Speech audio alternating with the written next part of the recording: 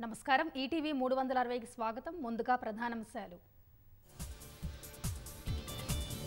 SC వర్గీకరణకు committee ఏర్పాటు చేస్తామన్న ప్రధాని.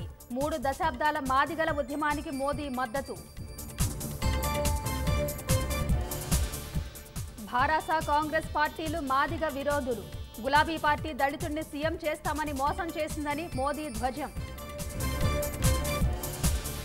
కరెంటు కావాలా? కాంగ్రెస్ కావాలా? హస్తం పార్టీకి అధికారం ఇస్తే రైతుల జీవితం ఆగమేనన్న కేటీఆర్.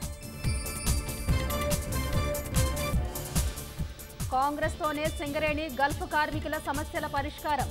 భారాస సర్కార్ అవినీతికే మేడిగడ్డ కుంగిపోయిందన్న రేవంత్. నామినేషన్లు ముగియడంతో జోరందుకున్న ప్రచారం. ఇంటింటికి తిరుగుతూ ఓట్లడుగుతున్న అభ్యర్థులు. అధికారంలోకి వస్తే వరి గోధుమలకు మద్దతు ధర పెంపు. మధ్యప్రదేశ్లో ఎన్నికల మేనిఫెస్టో విడుదల చేసిన భాజపా. హమాస్ లక్ష్యంగా ఇజ్రాయెల్ భీకర దాడులు.